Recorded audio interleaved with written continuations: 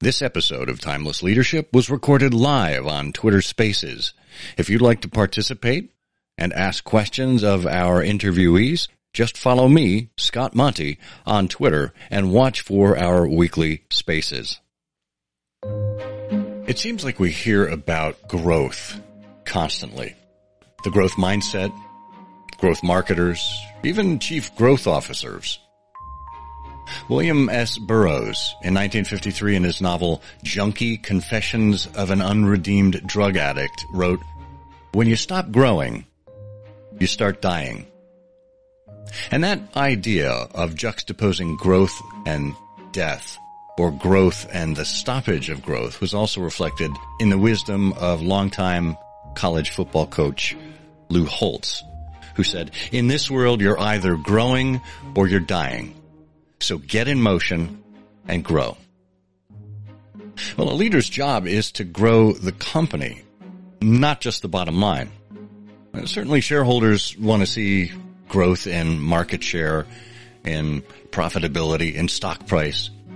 But in order for a company to grow like that financially, its employees need to grow as well. They need to be developing skills that keep them current with industry changes. But more importantly, they need to be growing as individuals. But why is individual growth so important and how do leaders help individuals grow? And more importantly, how does that reflect on a leader's own ability to grow? These are some of the questions ahead that we're exploring with our guest, Jon Ferrara. Have you ever admired a leader and wondered just what it is that makes her who she is? How he came to embrace the things that advanced him? Welcome to Timeless Leadership, where we look at the principles that define success. This is a show for leaders at all stages of their careers who aspire to understand what it truly means to be a leader. And who is a leader? Dolly Parton said, If your actions inspire others to dream more, learn more, do more, and become more, you are a leader. Together, we'll explore key principles, not only in the sense of fundamentals, but also in the ethical sense. The habits, character traits, and virtues that form the backbone of leadership principles that are just as relevant and essential in the 21st century as they were in the first century. This is Timeless Leadership. Well, hi there and welcome to another space around timeless leadership where we explore principles and virtues of great leaders. Thanks so much for taking some time out of your schedule today and spending with us. And it's my hope that we provide the kind of quality of conversation that keeps you coming back. We do these shows live every week here on Twitter Spaces, and then we package them up as a podcast for listening later. So if you can't stick around for the whole thing, don't worry about it. But if you are here, you'll have the opportunity to participate in the conversation, to either uh, contribute some of your own knowledge, to ask questions of our guest, or what have you. And feel free to listen and to follow Timeless Leadership wherever you get your podcasts. And if you're not yet subscribed to the Timeless and Timely newsletter, just click on the link in my bio there and it'll take you right to the site. Jon Ferrara is a serial entrepreneur and noted speaker about social sales and marketing. He's reimagined CRM by building Nimble, the simple CRM for Microsoft 365 and Google Workspace. Jon is best known as the co-founder of Goldmine Software Corp, one of the early pioneers in customer relationship management, that's CRM, for small to medium sized businesses. He's been recognized by Forbes as one of the top 10 social CMOs, top 10 social salespeople in the world, and top 10 marketing influencers. Jon, welcome to Timeless Leadership. Scott, thanks so much for giving me the opportunity to join you and this wonderful podcast that you've built. Um, I I not only love listening to your voice, but I love listening to the words that you craft because you are so good at telling stories and inspiring and educating others. And I think that's why we're on this planet is to grow by helping other people grow. And, and you're one of the people that I admire that do that so well. Well, thank you, Jon. That's awfully kind of you to say, and um, I'll make sure that the uh, the check clears for you. So don't worry about that. um, well, you you mentioned inspiration there and and storytelling. Uh, talk to me a little bit about what inspired you to go in the direction of your career. You, you've been at this for for quite a while. It's software development, CRM. What what actually brought you down that that path? You know, I, I, there's a few things that I attribute my path to. I think one of the biggest ones is NASA. Uh, I think that uh, NASA and Kennedy, who really set the tone for our nation to go to the moon and do those other things, as he so eloquently said, it really um, paved the way for a lot of young people who were inspired by what man can do, and I say man by all all all all man, mankind, yeah, mankind, yeah, and um and so watching the the astronauts uh, fly Mercury and then Gemini and then Apollo and the space shuttle certainly was all inspiring. And my mom took me to New York one time, and do you remember the Pan Am building? Sure. So the Pan Am building is now the MetLife building, but it's an iconic building in the center of, I think, Park Avenue or, or one of those streets. And in the lobby, when I was nine years old, there was a IBM Teletype uh, uh, terminal there, and it had uh, ELIZA running on it, which was a uh, AI Lisp written program that can interact in a human fashion. And so they let you touch it. And I went and played with it and it said, Hi, Jon, how are you doing? And I answered the questions and interacted in a very human way. And I was just really inspired by what the potential of computers were. And this was 1969 or so. And then my uncle helped invent radar and microwave at MIT in the 40s and was an aerospace entrepreneur and president of IEEE. And he helped inspire me in technology. And you know, I don't think I'd be here today without my father, who was the number one Lincoln Mercury guy in the 50s and the first Subaru dealership in California in the 70s. All of these things blended into me pursuing computer science, me working in a computer store to pay for my degree, and me digesting all of the knowledge of the adoption of microcomputers. I sold the first 300,000 IBM PCs to Southern California corporations when there were just terminals on the desktop. So imagine the knowledge that I digested of the adoption of microcomputers and software and the evolution of networks and client server computing. And all of this really set me up to solving my problem, which turned out to be the world's problem, which is how do you manage relationships at scale as a team? Mm-hmm. And and the, the, the, the thing there is this is really bigger than, than CRM because CRM is a database for managing prospects and customers by sales and marketing people. But it's not the sales and marketing people that touch the, com- the, the constituency around your company. And so for a company to effectively scale engagement with its con- community around it, you need a team contact platform for the whole company. And that's really what we set out to build with Goldmine but he it basically was Outlook and Salesforce before either existed. And the heart of it was relationships and contact management. And I really think that that's still the problem that we all suffer from today. Yeah, no doubt. I mean, this is this is the perennial problem, uh, particularly on social media.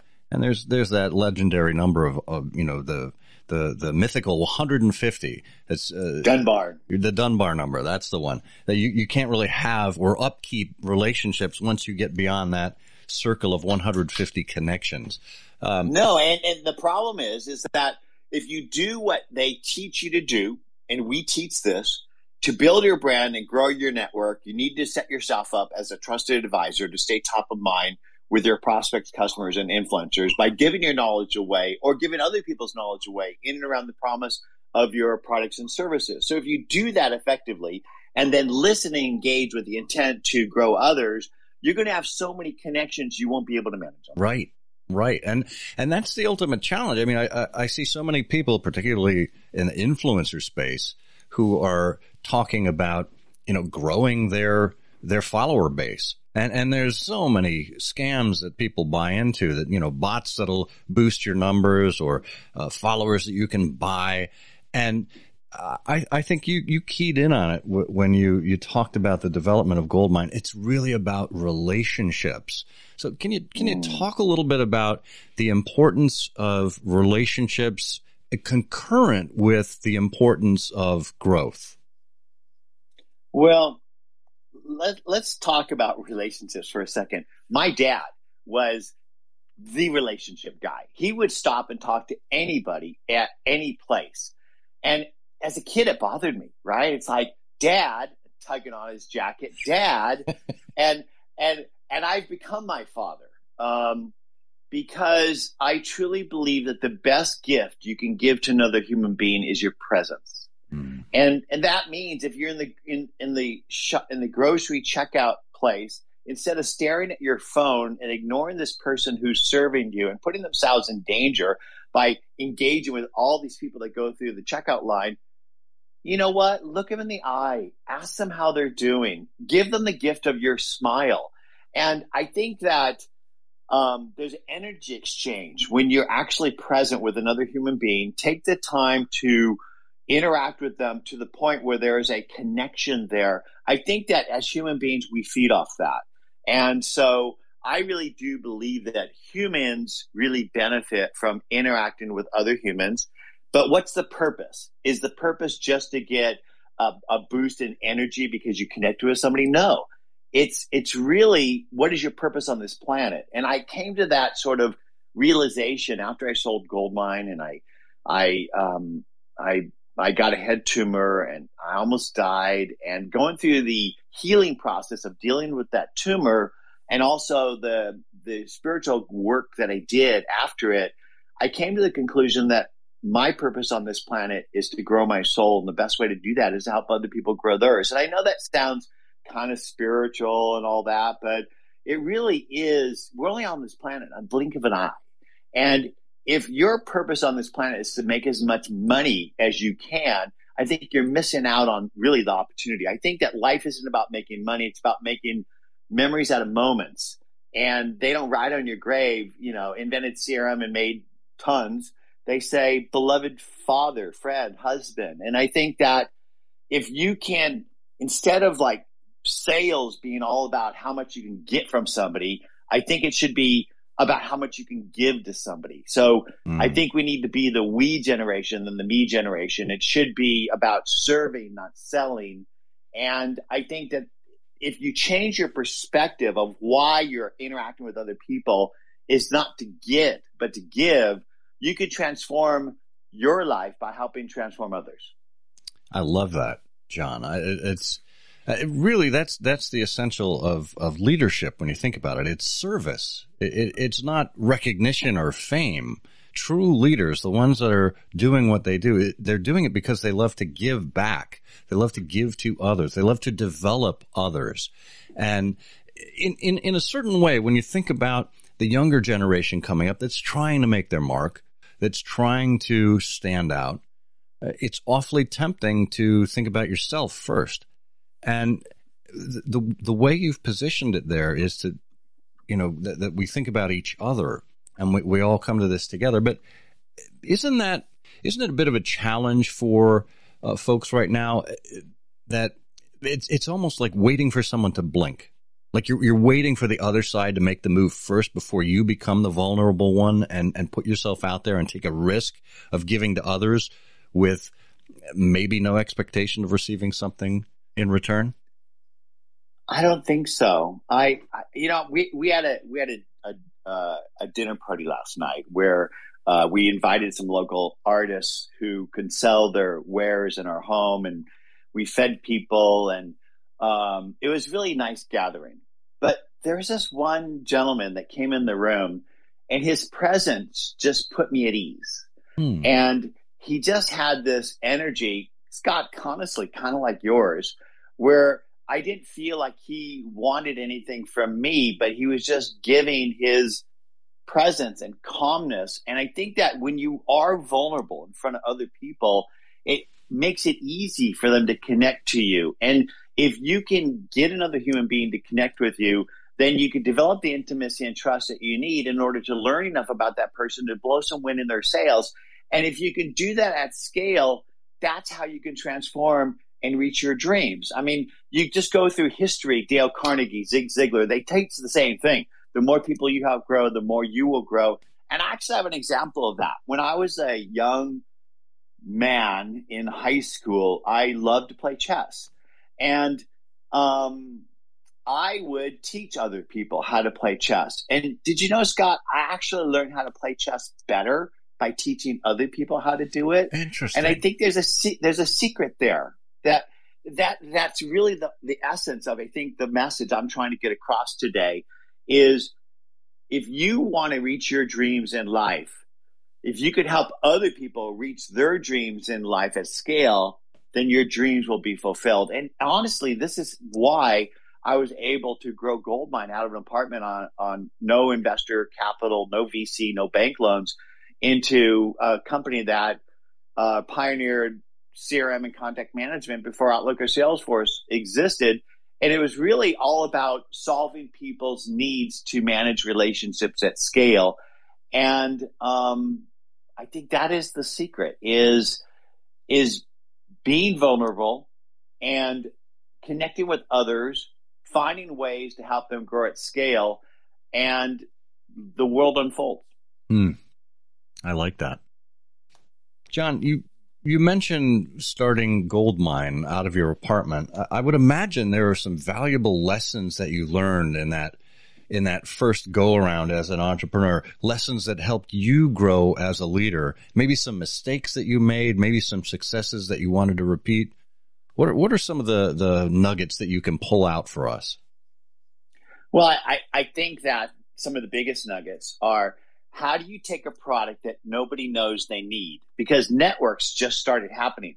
There were no network business applications, let alone CRM. So how do you connect with SMBs at scale, small businesses, and teach them why they need a team contact platform for their Novell network that they recently bought to hook up their printers and hard drives? Well, there's a, what what I did was I contacted the influencer of the small business, the person that sold them the network, the Novell reseller, because there was no Microsoft network at the time. So Novell was it uh, for the SMB. And I got them to use it because people sell what they know and they know what they use. And they started to recommend it and resell it to their customers. And Scott, I transformed these Novell resellers from selling plumbing to plumbers, selling uh, IT infrastructure to IT decision makers, selling the highway uh, the operating system and printers and hard drives to selling business solutions on top. So instead of making a dollar, they were making ten dollars of extra products and services by selling uh, Goldmine and the consulting services that went with that. But then what happened was Microsoft came out and they ate Novell. So Microsoft doesn't innovate, they iterate. They wait for someone else to build the market, then they come in and it's big enough with their muscle, which is billions of users and hundreds of thousands of hours they hired my former boss at Banyan Vines and he built NT Server and then they built SQL Server and Exchange Server and they wanted to sell it to SMBs. No SMB is going to buy SQL Server, a, a database, without an application that calls for it. So what we did was we built Goldmine Enterprise, which required a seat of NT Server, SQL Server, and Exchange Server for every seat of Goldmine, which helped our customers scale to millions of records in their databases and have a more secure operating system and email transport helped the reseller sell $10 every Goldmine dollar, but more importantly, it helped Microsoft sell their crown jewels. So our third party solution drove the adoption of the first party solution, and they just pushed us worldwide. And so if you can help other people grow at scale, you will grow. We transformed the Novell reseller from selling operating systems to selling business solutions. We transformed our customers from trying to manage contacts and, and, and and relationships with spreadsheets into a, a, database that ran across not just their corporate office, but their district and field sales notebooks. And we transformed Microsoft, helping them sell their business solutions. And this just gets back to the exact same thing that we've been talking about is by helping other people grow, you will grow. Yeah. And you know what strikes me about that that story there about the the founding of Goldmine and how you you worked your way up to Microsoft is you didn't you didn't set your sights on Microsoft right out of the gate. I mean, you had a very specific target audience. It was SMBs. It was uh, Novell servers. Um, I, I, I, can't even begin to repeat all the technical uh, stuff that you, you mentioned there, Jon. But what I got from it is you eventually were able to land a client like Microsoft or to become important to a client like Microsoft because of the help that you you you you had for other clients farther down the chain and how you helped them grow. And it, it's actually kind of a a reverse mechanism. You talk about uh, trickle down economics. This is trickle up uh, growth. So I, I, think that that's wonderful to see that kind of uh, success out of a uh, out of the gate. Well, what it what it is is you need to be present enough to listen to your constituency, and I didn't say customer on purpose because it's mm. not just prospects and customers that grow your business. At Goldmine and Nimble, we connect to editors, analysts, bloggers, influencers, third party developers, investors, advisors, and prospects and customers. So you need to be listening and engaging with your constituency in order to sense the needs and opportunities that you can dance from. So it's it's one of the reasons why I named Nimble Nimble because I so admired Fred Astaire and his ability to just flow through these dances, right?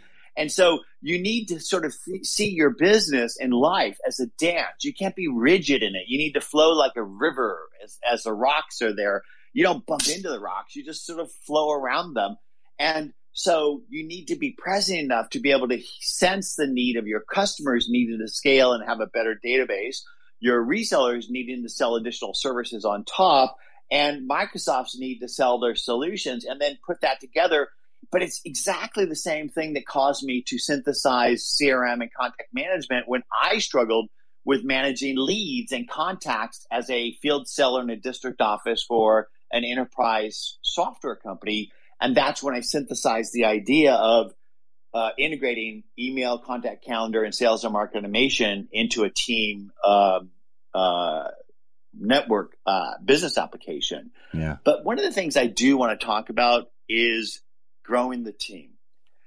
So I think that the most crucial thing you could do as an entrepreneur is to grow the people around you.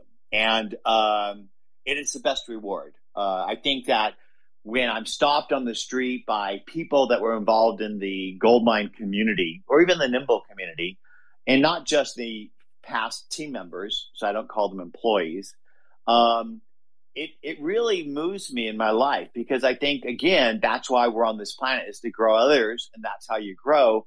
And we would hire instead of hiring say business degrees or computer science degrees, I loved hiring liberal arts majors because they were taught how to research, read and write and communicate. And in many cases they're they're really the the people that are last thought of by technology people to hire but I love them because they can learn and you can teach them anything. And then when you transform their lives by letting, giving them the opportunity to start and growing them through their career, it's, um, it, it, it becomes this culture that gets created in your company that's unstoppable. So, uh, one person I'll point out is uh, Natalie Burdick, who started um, uh, at Goldmine uh, as a graduate for UCLA in history and eventually uh, became VP of product. And uh, and this example just continues. We hired hairdressers who became head of channels and and other things like that. And so I think that the job of a leader is to set the vision um, and the path, hire intelligent people, train them well, empower them to make decisions in the face of the customer and then make sure that they have the tools and the resources they need to be successful and that they're constantly growing. And um, and that's really the secret to goldmine and nimble success boy uh, there is so much to unpack there john so john one of the things you mentioned there which obviously appeals to me as a former classics major is uh, bringing in non-technical people liberal arts people um, folks that understand history, that understand writing, good communication, critical thought, listening skills. I mean, these are really all aspects of leaders uh, that are that are necessary. And as you've built your teams out, and you've had these liberal arts people, you've had your technical people. Do you find that it's more difficult to grow one subset of those people over another, or that different forms of growth are needed for each team? How, how do you approach that?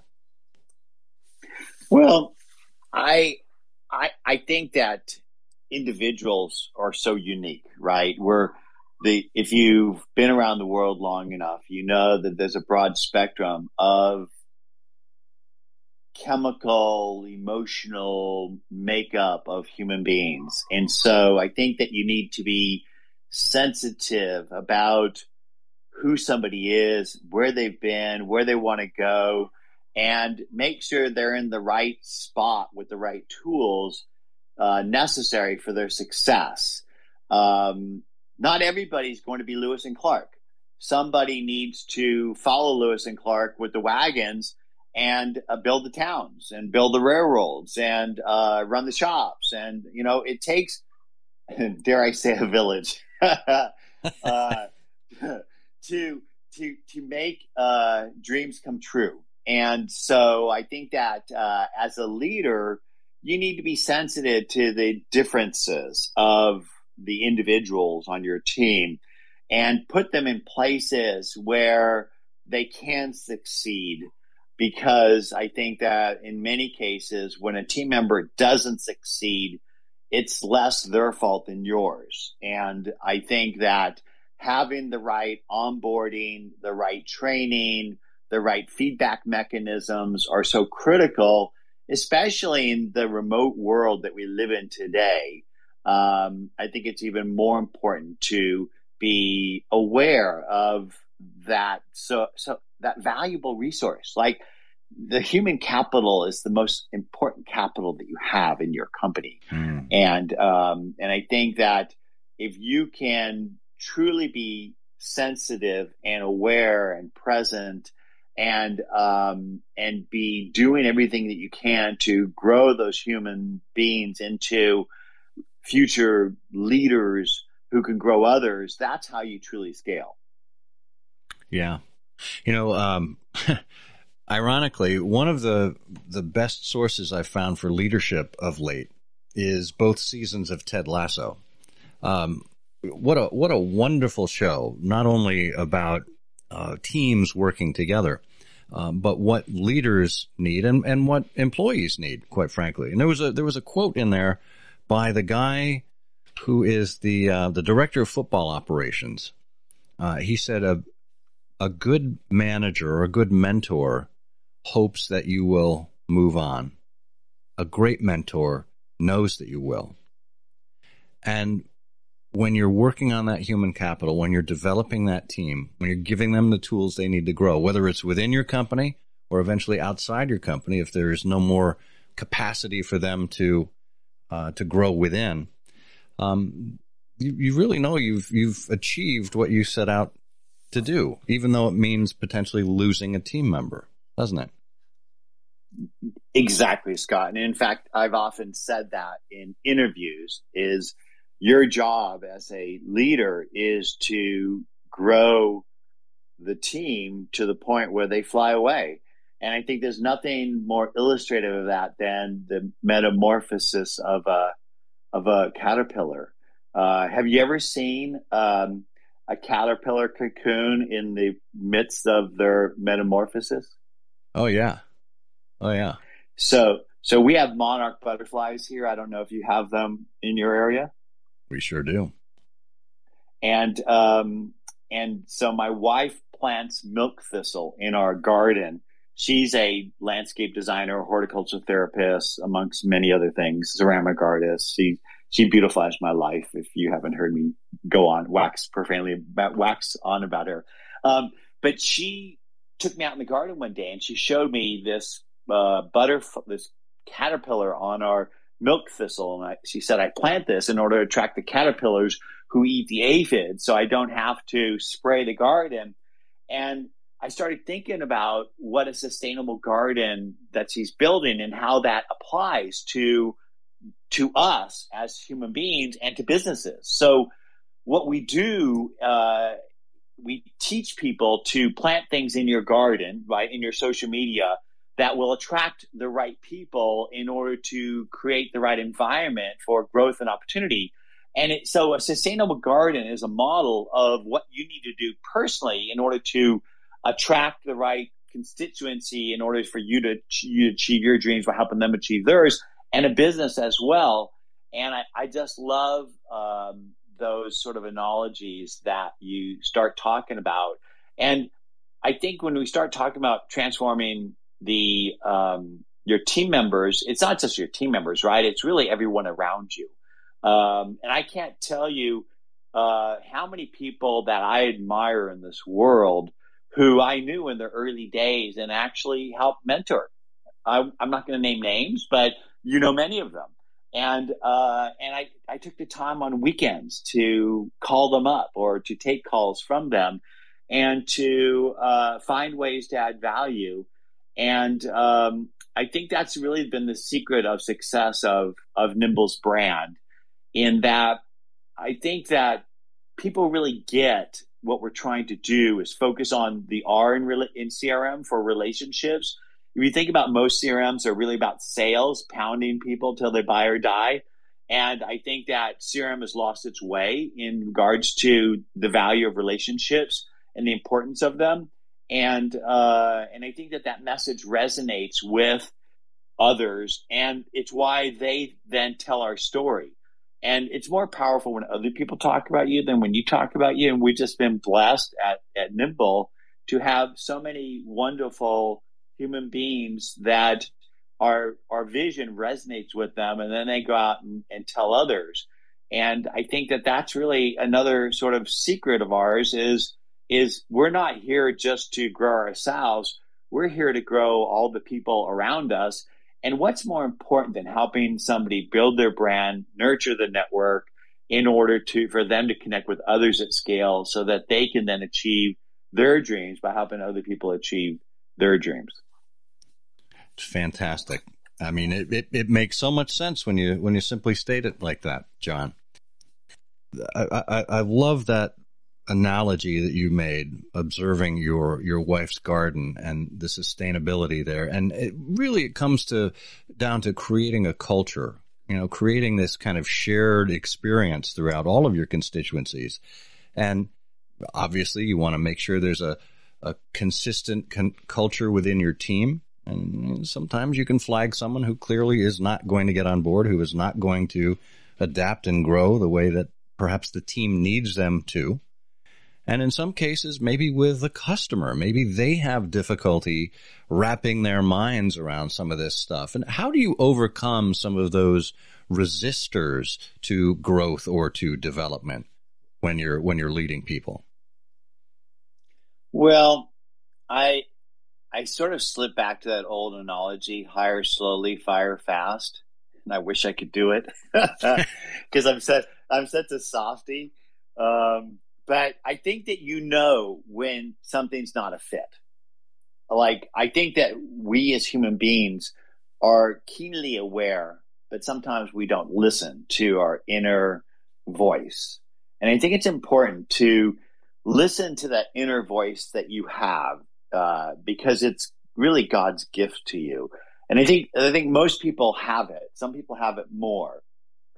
Um, and I think that's important for you to recognize when something's not going to work out and to make that hard call.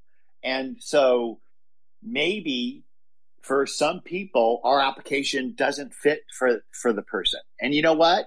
Tell them before they buy because if you are straight with a person and you make a recommendation that's in their favor, even if it means recommending somebody else's product, that person's going to become an evangelist for you, even though they didn't buy themselves. Mm. And and if a team member isn't fitting at your organization, uh, the best thing you could do is to help them find a place that's better for them. And uh, the last thing in the world you want to do is to is to let them continue to struggle where they're not succeeding uh, and or delivering what you need them to deliver. And so I think leadership means making hard choices and being clear. Hmm. Yeah. And and odds are if you've if you've hired the right way, even if the person isn't the right fit or isn't finding their way, they they aren't going to be a complete jerk. I mean, they're, they're going to understand that they're not fitting in as well, and it, it becomes a mutual realization. And I think they will respond with, hopefully, with grace, with gratitude to the leader who is helping them find a place where they may be better suited. Grace and gratitude. Amen. Uh, easy to say, hard to practice. Like growth, all these GR words. It's not easy. It, it takes it takes a level of commitment uh, to know that we want to move in a certain direction. I mean, it's it's so easy to just remain rooted in what we know and what we're comfortable with, and and the leader's job is to push the boundaries there and to help people. Well, I guess continue to adapt along the way and help them understand that it's okay. And I, you know, I guess there there are a lot of leaders are also ex- experiencing the same level of oh, I don't know, uncertainty or anxiety as they're growing concurrently with the team. It, it's not like one is growing and the other isn't. And there are some areas where we simply don't have a roadmap. And what we do have in these circumstances is each other and the ability to encourage each other, the ability to uh, help each other grow along the way. Uh, can you talk a little bit about what you as a leader have gained from uh, the people uh, you, you know, you talk about this this kind of virtuous cycle of growth. Talk about some of the growth that you've gotten from the people that you've helped to grow.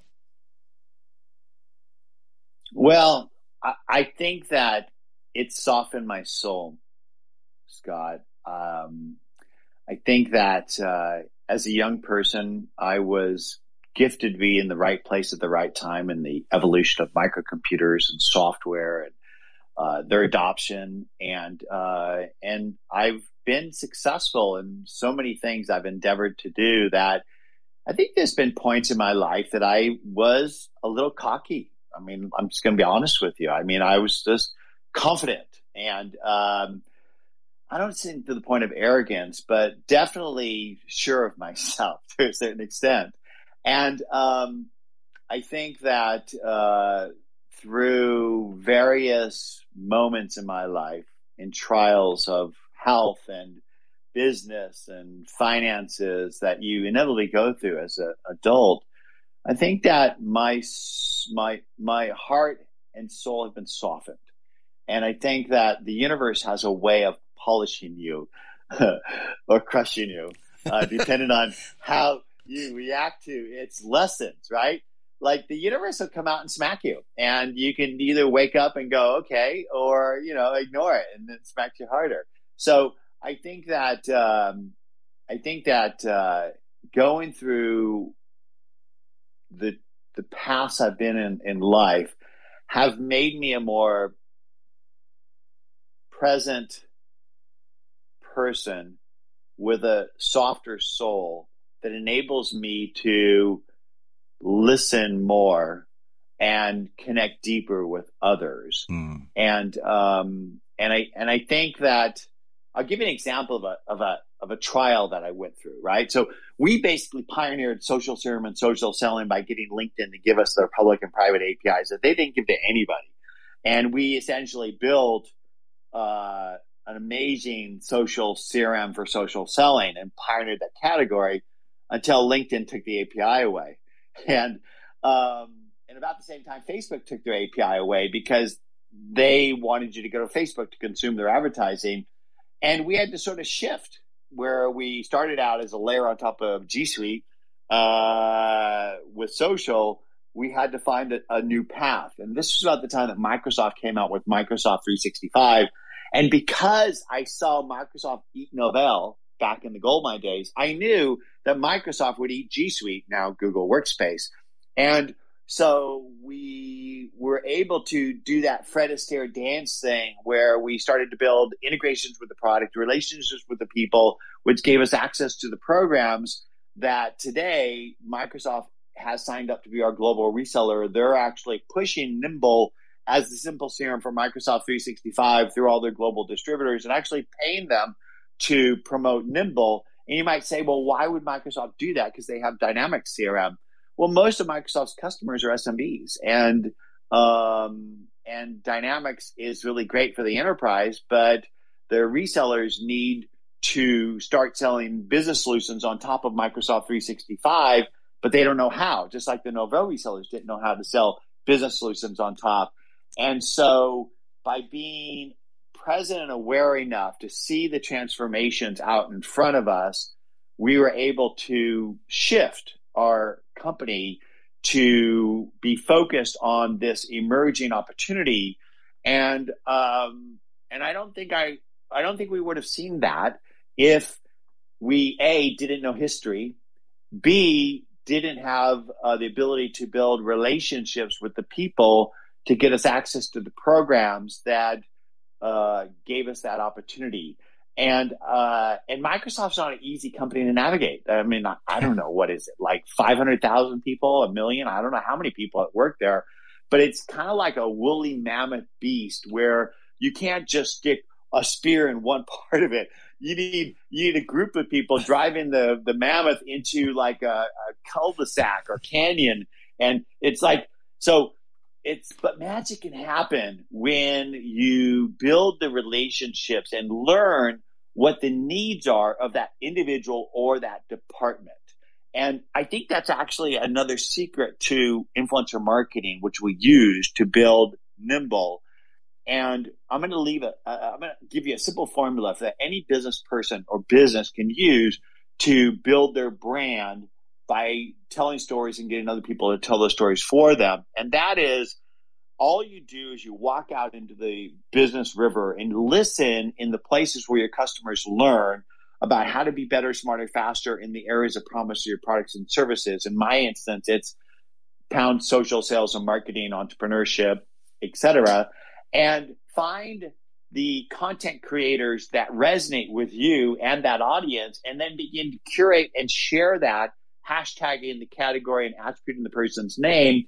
And eventually that influencer and their community will begin to interact with you. And rather than you trying to sell them something, you listen and learn enough to find ways to add value to that community and ideally the influencer themselves. And so I can't tell you how many phone calls I've had with influencers and social sales and marketing where I didn't start the call by telling them how great I am or how great uh, Nimble is, but by doing my homework, learning enough about them and their product and services, asking questions, and then just shutting up and letting them talk for 30 minutes or more. Yeah. And and when you do that, people will fall in love with you and you'll learn enough to find a way to add value. You'll build the intimacy and trust that you need for them to open up to you and tell you these things. And then magic happens. And at the end of all that, they're going to say, Hey, Scott, tell me a little bit about you and what you do. And you do. And then they become, you know, users, advisors, storytellers for you. And again, that is all centered on relationships. So it takes 60% of the fuel of uh, the majority of fuel of a rocket to get into orbit, the majority of fuel of a car to get to 60 miles an hour. But to keep it in orbit, to keep it at that speed takes very little. So imagine the energy it takes to build to initiate a relationship, but to maintain it really doesn't take as much. Do you remember the guy with the pencils and the plates at the circus where they, they're spinning the plates on the pencils? Oh, you ever sure. seen that routine? Absolutely, yeah. How much work does it take to get a plate on the top of the pencil? a lot, right? Absolutely. But, but how much does it take to keep the plate spinning? It's a nudge. It's a little touch.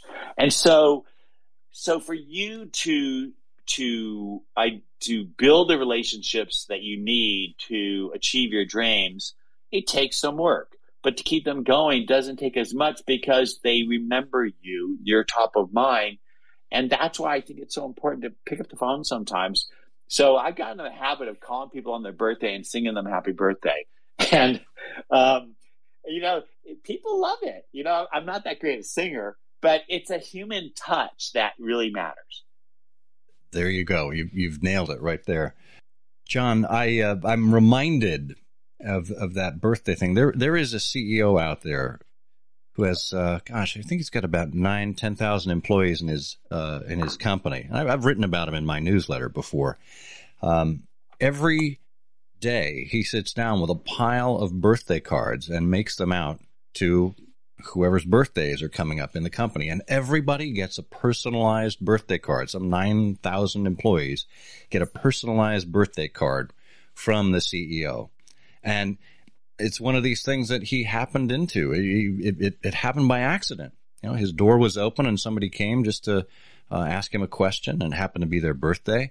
And he realized he was onto something. And yeah, it takes a concerted effort, but in the big picture, is writing a birthday card to an employee really that difficult? No.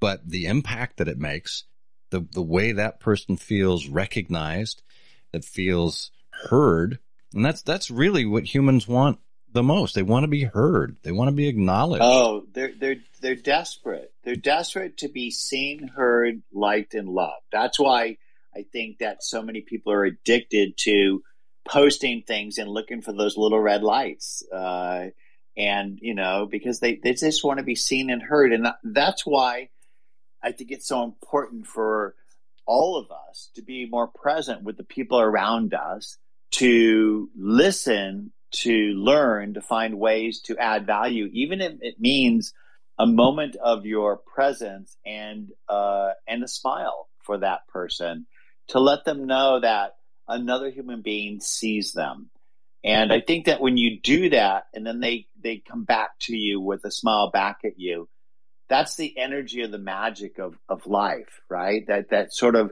human connection that, um, I think we actually feed on. Do, do you ever feel energy, Scott, from an interaction with another another human being? Oh gosh, all the time, all the time, Jon. As a matter of fact, my um, first season of uh, the Timeless Leadership podcast here, we had Harry Cohen on, and Harry teaches about heliotropic leadership. He, he's written a book called "Be the Sun, Not the Salt," and the idea mm. here is that uh, sunflowers. If you ever watch a sunflower, um, as the sun comes out, the sunflower will track the sun across the sky. The sunflower will actually turn. And he said that's what we as human beings do. We turn toward people who are warm, who give off a certain vibe. And we turn away mm-hmm. from people who give off the opposite kind of vibe. We, we tend to want to spend more time with great people that make us feel good. And we want to spend mm-hmm. less time with people who make us feel bad about ourselves or who are constantly negative. So ab- absolutely. And, and, and that's what I mentioned earlier about this dinner party. When this person walked in, I immediately felt their energy and their presence. And uh, I love that old saying: "People won't remember what you say; they'll remember how you made them feel." Of course, yeah. And uh, and one of the things I like to say is, people don't buy great products; they buy better versions of themselves. Mm. Uh, stop talking about your products and services. Start talking about how you can help other people become better, smarter, faster. There you go. And uh, and I, think that's really the, the secret to life. Back at the original thing is is stop selling, start serving, yeah. find ways to add value to others at scale, and um, and that's really how you can build your own personal gold mine. Yeah, and and look, it's so easy for us to uh, to talk about ourselves. I want to give some other people a chance to talk here. We've got Brian up, and then we've got Maria right after uh, Brian. But um, just before I bring you on, Brian, uh, it, it's so easy to talk about ourselves. It takes an effort to actually be interested in someone else, to do the research to find out about someone else, and to make them the star. But that effort is paid off uh, in in spades, I'm sure. Brian, welcome to Timeless Leadership. Oh, thank you for having me. I had to uh, I had to jump up and uh, raise my hand. Actually, just more of uh, validation for what Jon was sharing and what you were sharing, Scott. I I've been on the receiving end of uh, multiple uh, long phone calls where Jon and I uh, spoke many many years ago. I was in a different job, a different role, lived in a different state actually, and I remember you know vividly the you know conversations and mentorship and and not only the idea that you know letting me talk which everyone knows that is never a problem um, but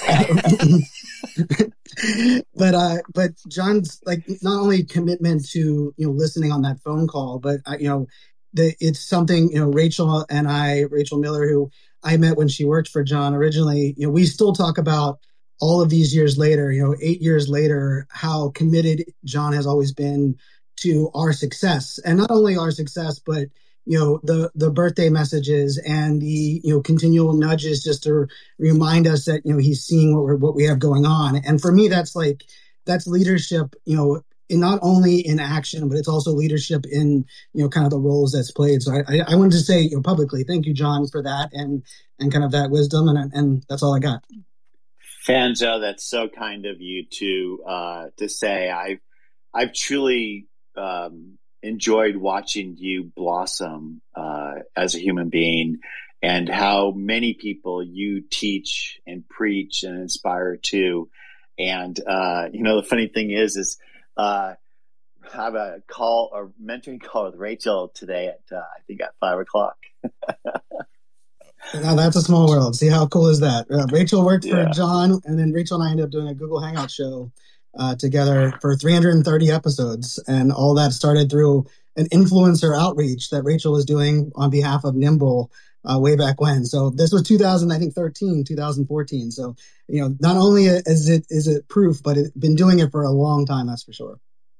How timely, thank you, Brian. Well, thank you, Brian, for uh, for joining us up here. It's always great to hear your voice. Uh, next up, we have uh, Maria, who's been waiting patiently. Maria, welcome to Timeless Leadership. Hi, thank you so much. I really appreciate you giving me a chance to ask my question. Thank you so much for sharing all the information that you're sharing and for um, just having this accessibility um, these days. It's really great to do this. So, um, I have a question. I wanted to know if there was uh, a challenge in the beginning when you were first starting things that you might have had, or that ways that you have uh, tips or something for people who are starting early about things. They're maybe a little too early. I always find myself a little too early. Um, and so I was just wondering if you have any tips about that because I do believe in the relationships, how the importance of the relationships and sharing knowledge and sharing um, resources and and things like that. But I find that uh, in my sharing, I just kind of uh, get stepped on, and then other people have more resources or more money, and so then they can take whatever I've shared or the ideas and the things I've um, trying to bring awareness to, and do those things without me. So, if there's any tips that you have for being like too early or, um, sorry, is that clear enough of a question? Thank you. Yeah, thank, thank you for that, Marie. You want you, you got the question, Jon? I think I do. Okay. Um, I, I think that Maria is innovating in her areas of passion, and that she feels that sometimes when she shares her innovations with others in order to inspire and grow them, that other people might take her ideas and make them their own, or or or maybe not. Um, maybe she just feels like people are taking advantage of her and I mm-hmm. think there's a difference between being um, open with a service mentality to help other people grow in order for you to grow to letting people take advantage of you.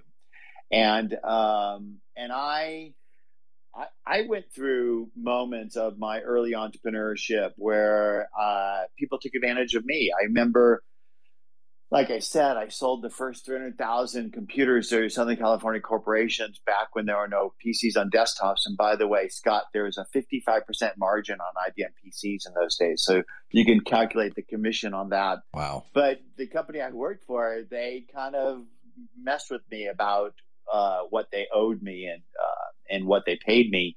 And uh, I think you need to you need to advocate for yourself in life and and you need to know when people are taking advantage of you and and speak up for yourself. And if they don't change uh, you need to make a change of whatever sort that you need to do. So there's a difference between being a pay it forward relationship focused person who is growing by helping other people grow to being a person that you let people take advantage of, of you and so, Maria, my advice to you is to work on your boundaries and um, and your inner strength in order to protect yourself while still being vulnerable and open, but not letting yourself be taken advantage of.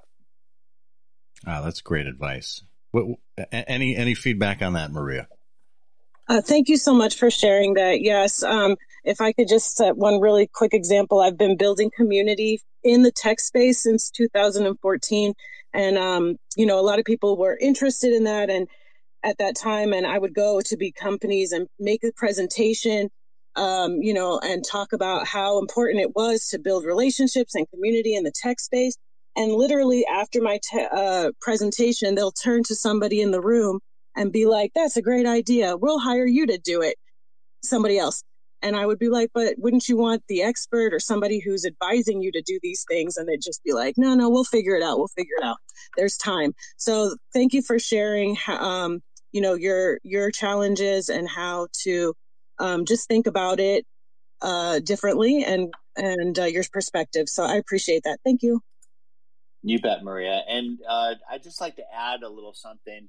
You're probably better off having not worked with those people, anyways, because um, life is too short and you shouldn't work with people that you don't respect and uh, who don't respect you as well. And so don't compromise your integrity or your heart or your soul by uh, spending time with people who don't value you or respect you in life. That's well, thank you so much. Great yeah. advice, timeless advice there, uh, Jon. Um, we are uh, we're a little over the hour that we had planned. I, I know uh, recording wise we're still under a little bit, so uh, have a little bit more time here. Uh, Bob's been waiting patiently to uh, become a speaker. I know I invited him up to uh, help me with the the patter song while we were waiting for connecting at the top of the show. But Bob, you've been very patient. Welcome to Timeless Leadership. Thanks for having me, Scott. Jon, thank you for all your information. Maria, great question, by the way. I appreciated that. Um, so I had, a th- I had a thought while you were talking about teaching and learning how and how learn uh, teaching something helps you become better at it. Um, and when you take that example, you combine it with your talk with your information, Jon, um, about you know, I got the feeling that a culture of growth is just really important to you in the organizations that you worked with and that you built. And so my question is, due to that fine line between teaching and learning and, and getting things done, do you feel that when you're when you're building a team of people, that it's more important that they have that mindset first, that growth mindset that you've been talking about, and then you can teach them the technical skills, or vice versa. They need to have those skills, and then you can teach them the growth mindset. And maybe there's some nuance there, but I thought that would be a good thing for you to talk about. Thanks, Bob. I appreciate the question. Um, it's a great question. So, what what what what we look for in people is uh, number one that they have a, a mind and a soul that is interested in learning and growing and uh, and I say mind and soul because I do think that it's more than just the the mental growth that somebody should be doing in, in life, um, and that they're a good cultural fit in the organization.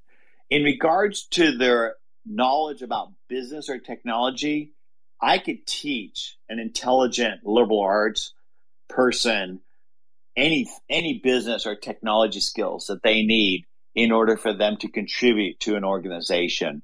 But I can't remake a human being.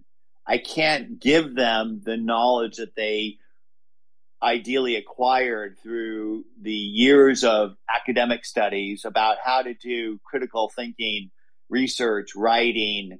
Um, I can't remake their heart and soul that's been created through the life journey that they've already been on. And so what I look for is somebody who's a good cultural fit, somebody who's, in, who's intelligent and has a strong desire to grow uh, their heart and soul. And I don't really worry about the business or technology acumen in general for mostly entry level people. If I'm hiring on engineering level, or a senior role of leadership where they'll be leading others. Of course, I look for skill sets and experience in those areas. But um, I like to hire um, entry level people and grow them into senior leadership positions. And I think that the, you know, most of our team at Nimble has been here for over seven, eight, nine years. And I think that's sort of a testimony to that mentality. That's great. Appreciate that. I, I love how you talked about the the length of time and there's lessons that they have to learn there, but it's really the that experience that they've had prior to working for you that's extremely valuable. Yeah, I, I, I think that there's a journey that all human beings go through. It's like with the you learn so much by your mom and your grandma, your dad, and then what you learn on the schoolyard and in the classroom. And it's really not even the academic stuff. It's like the stuff that you could and should and shouldn't do, you know? And it, that takes years of polishing. I sometimes I feel like I was a lump of coal back in my earliest days. And the human being that I am is really a reflection of the people around me that have helped me to grow into who I am. Uh, and I can name a, a lot of teachers and even a lot of friends who have inspired me to become the person that I am. And, and, and I call that sort of polishing. So like, you know, you take coal and you crush it into a diamond. Um, I, I'm grateful for all of the people that I've interacted with that have polished my soul. And that actually includes Scott because, uh, Scott, you and I have interacted briefly over times in different places and moments for different reasons, but you've always I've always come away with a smile on my face from those interactions. And I think it's a reflection of your heart and soul. And it inspires me to uh, continue to polish mine. Oh, well, thank you so much for that, Jon. Very, very kind of you to say so. And hey, look, uh, I think we all start out as, as a lump of coal uh, hopefully not the kind that uh, kids, that naughty kids receive from Santa around Christmas time, but uh, we all start out unformed. And, uh, you know, diamonds come from coal under great pressure. Uh, and it, you know, if you want to go the other way, pearls are formed by friction. You know, a piece of sand getting in between the the shells of an oyster. It, and and another one is a sword. A sword is built by hammer, hammer and fire. There you go. There you go. And and look, the the point is none of these none of these things happen without work. Uh, the work that someone decides to apply to something to make it into something better. So, Jon, thank you so much for helping us become something better. How how can people find you other than your your Twitter account here? Well, this is a, a tip that I love to give people. Google me. In fact, Google yourself how do you show up? Are you are you comfortable with how you show up on that first page? Uh, and if you're not, go build a Wikipedia page for yourself uh, to start uh, controlling how people see and feel you. Um, but you can Google me, Jon J O N space Ferrara F E R R A, and you'll find the various identities that I uh, have put out there and connect with you on whatever identities you feel comfortable with, or email me, jon at nimble.com, uh, and let me know how I might be able to add some value to your journey. That's fantastic. Well, clearly, Jon, you have a lot to add, and we thank you for being here and helping us add to our own journeys. Growth takes work. It comes from the time we invest in ourselves, and more importantly, in others. But like any hard work, it pays off, creating deeper relationships and dividends that we'll continue to enjoy.